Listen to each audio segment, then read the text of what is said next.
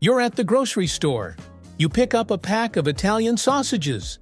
The label lists ingredients pork, water, salt, spices. Seems simple, but that pork came from seven parts of the pig you'd never buy separately. The water is dissolving proteins to create glue. Those spices aren't adding flavor, they're covering what grinding did. So, what are you actually eating when you bite into a sausage? 1873, Frankfurt, Germany.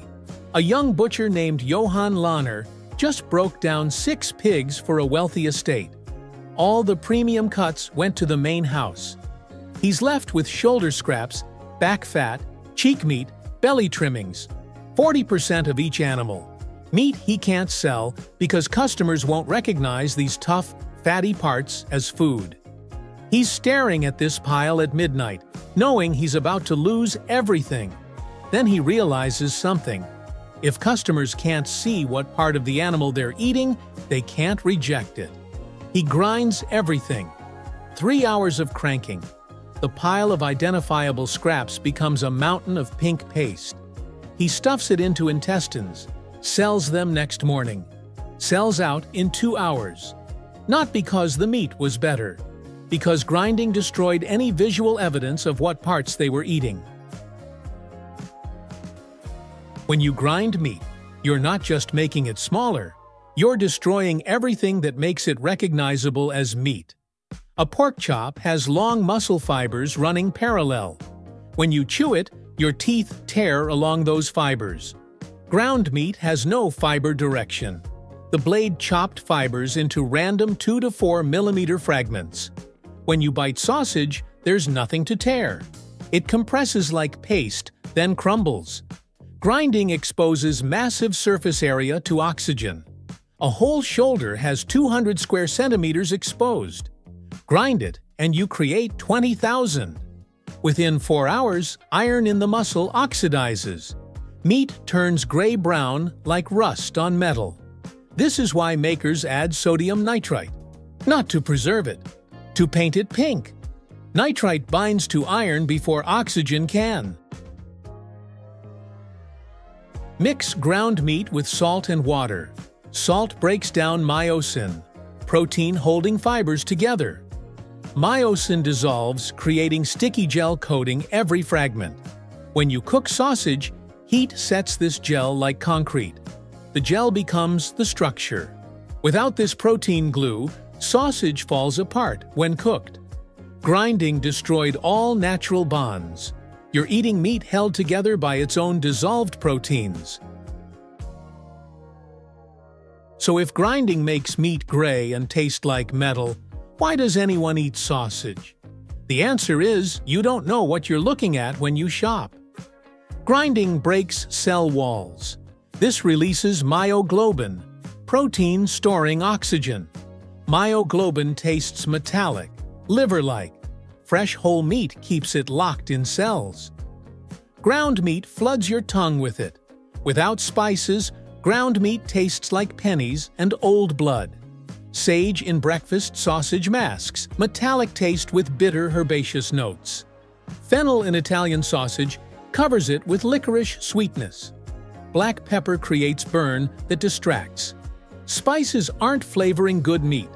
They're masking what grinding released.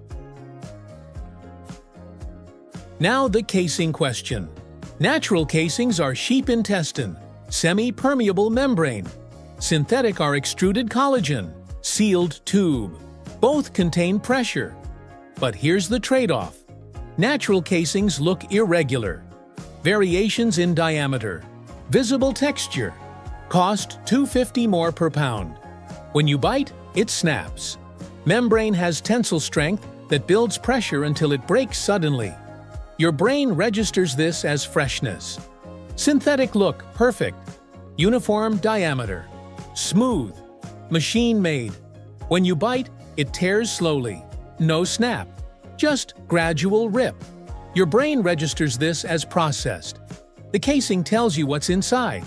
If sausage looks too perfect, absolutely uniform diameter, it's synthetic covering cheap meat.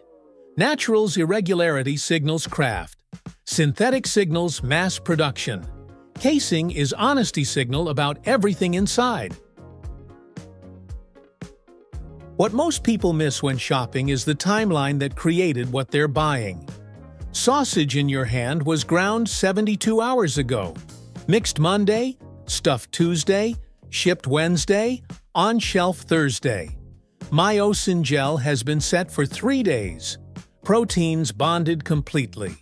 When you cook it, you're reheating meat that finished transforming days ago. It tastes smooth, uniform, processed, because it is. Here's the buying framework nobody teaches you. Press sausage gently through package. Quality resists and bounces back. Proper fat ratio, fresh meat. If it compresses easily and stays compressed, either too much fat or it's old.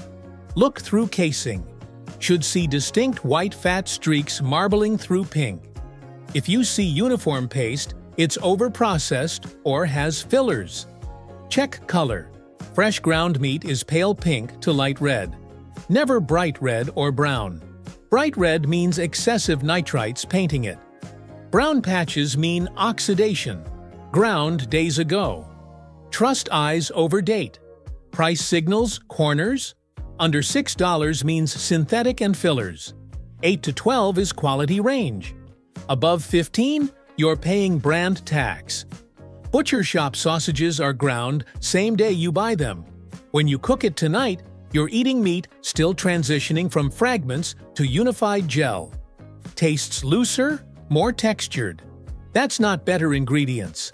That's fresher assembly. Sausage isn't meat. It's waste management engineering. Butchers needed to monetize 40% they couldn't sell as recognizable cuts. Grinding destroyed visual evidence. Protein gel unified fragments. Spices covered metallic taste. Casing contained pressure. What started as unmarketable scraps became premium product customers would pay top dollar for. Next time at the store, you'll see past the label. Press gently. Resistance means quality. Look for irregular casing. Natural intestine. Check for fat marbling. Visible streaks mean proper ratio. Verify pale pink, not bright red paint. Sausage will tell you everything if you know what you're looking at. You're not buying pork. You're buying engineering solution that transformed parts butchers couldn't sell. Seven cuts ground into fragments. Dissolved protein bonding them. Spices covering broken cell taste masked by casing so you can't see what you're eating. So what's in your fridge? Natural or synthetic?